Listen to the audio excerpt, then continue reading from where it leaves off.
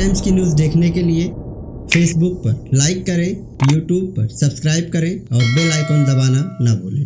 मैं हूँ फिरोज हाशमी, आप देख रहे प्रहार टाइम्स। मुमरा में सबसे अहम मुद्दा।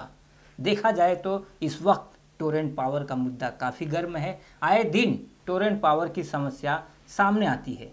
कभी घंटों लाइट ना होने की वजह से चर्चे आक्रोश तेज देखने को मिलते हैं तो कभी लंबी लंबी बिलों को लेकर चर्चाएँ तेज हो जाती हैं। पिछले चार महीने में कोरोना महामारी के चलते लोग घरों में कैद हैं और टोरेंट पावर बिना रेटिंग लिए बिलों को बड़ी तेज़ी से घर घर पहुँचाने में लगी है। शिकायतकर्ता का कहना है, बिना रेडिंग लिए अचानक बिल भेजना ये कितना सही है और कितना गलत है। इस पर टोरेंट पावर को विचार विमर्श करना चाहिए। मुमरा शहर अमीरों की शहर नहीं है गरीबों का शहर है। यहाँ 80 परसेंट गरीब तबके के लोग रहते हैं। इसलिए सोच समझकर बिल भेजें ताकि लोग बिल भर सकें। अब बात करते हैं किस्मत कॉलोनी की। किस्मत कॉलोनी जो कि अमृत नगर से लग कर है। सटा हुआ है। इलाका है। इस इलाके में एक घंटे नहीं, बल्कि कई घंटे लाइट नहीं थी। कल लोग अंधेरे में थे। ऐसे में स्थानीय लोगों ने टोरेंट पावर से शिकायत की। यहाँ तक नईम नज़ीर खान ने भी शिकायत की थी।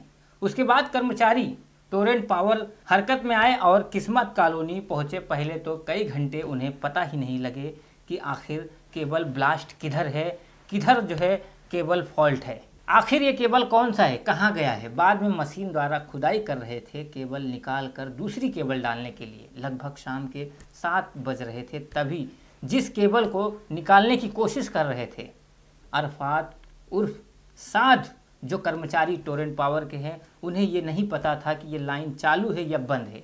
इसी दौरान मशीन जैसे ही केबल को टच हुआ, एक ज़ोर की आवाज़ आई और टोरेंट पावर के कर्मचारी बुरी तरह झुलस गया। अब सवाल उठता है, कैसे कैसे कर्मचारियों को टोरेंट पावर ने रखा है, जिन्हें खुद पता ही नहीं है या पता है तो आखिर ये घटना कैसे हुआ? अरफात उर्फात इतनी बुरी तरह जल गया, जो कर्मचारी था, जो काम कर रहा था, हम आपको पूरी तरह से तस्वीर नहीं दिखा सकते हैं। ये वही जगह है, किस्मत कॉलोनी, जहाँ पर कल शाम सात बजे केबल ब्लास्ट हुआ और टोरेंट पावर का कर्मचारी बुरी तरह झुलस गया।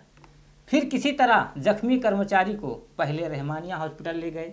बाद में बिलाल हॉस्पिटल में एडमिट किया गया, जहाँ उसकी इलाज चल रहा है। अब बात यह सामने निकल कर आ रही है, जाने दीजिए।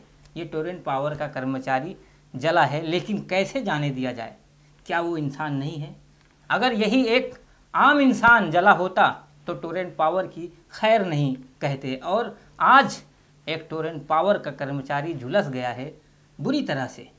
काम करते वक्त उस मामले को कहते हैं, दबा दिया जाए। कैसे दबा दिया जाए? कैसे हो सकता है?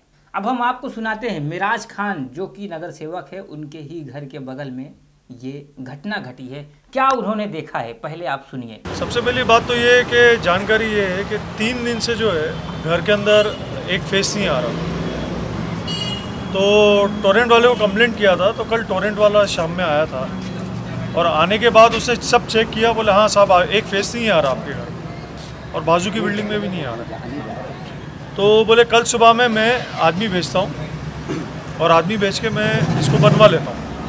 सुबह आदमी आया और आदमी आके देखा, पहले घर में आया था। फेस चेक करा तो उसने देखा कि एक फेस नहीं था।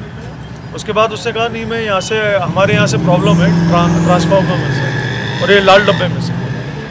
मैं वायर चेक करता हूँ और इसमें तीन वायर होते हैं उससे एक वायर में करंट नहीं आ रहा था तो मैं इसको ठीक करके देता हूँ। तो तीन घंटे तक लगा रहा वो ठीक नहीं हो पाया। बोले, सर ये पूरा जो है, केबल बदलना पड़ेगा।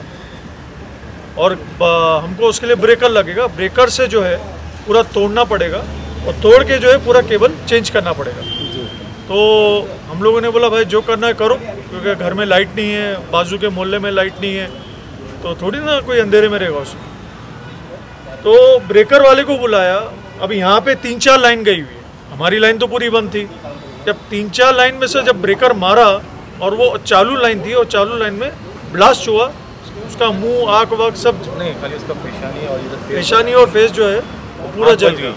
आग बच गई उससे यहाँ पे जब से सीमेंट का काम हुआ है ना कुछ केबल केबल का कुछ ज़रूरत ही नहीं थी काम की। और तीन चार केबल गए हुए थे अंदर। और वो क्या सोचा कि इसे बंगले की और हबीबा मंजिल की एक ही लाइन गई हुई है। तो क्योंकि लाल डब्बे में वहीं की लाइन गई हुई है। तो उन्होंने क्या सोचा कि एक ही केबल गया हुआ है तो मैं ब्रेकर से वो सीमेंट को तोड़ के और मैं केबल बाहर निकाल लूँगा और दूसरा केबल डाल दूँगा। अब उसको ये नहीं मालूम था कि नीचे दो तीन केबल और खुदे हुए ये लमसम कितने कितने बजे की घटना है? ये लगभग मेरे ख्याल से सात बजे की घटना है। सात बजे लगभग। सात साढ़े सात बजे हुआ हाँ। सात साढ़े सात बजे हुआ तो आपने सुना क्या कहा मिराज खान ने? लेकिन इस मामले में जब हमने टोरेंट पावर के अधिकारियों व कर्मचारियों से पूछताछ की तो उन लोगों ने कुछ भी बताने से इनकार किया। उन्हें कुछ पता ही नहीं है। ऐसा वो कह रहे हैं।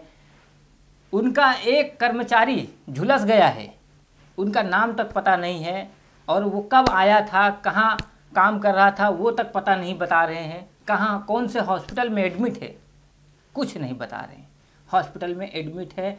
ये कल शाम सात बजे की घटना है, जो किस्मत कॉलोनी में घटी है। हमने आपको वो केबल भी दिखाया है, जिस पर काम चल रहा था और घटना के बाद आनंद फानंद में हॉस्पिटल में लेके भागे हैं। और इसी के साथ समाज राजनीति से जुड़ी हुई खबरों को देखने के लिए देखते रहे प्रहार टाइम्स।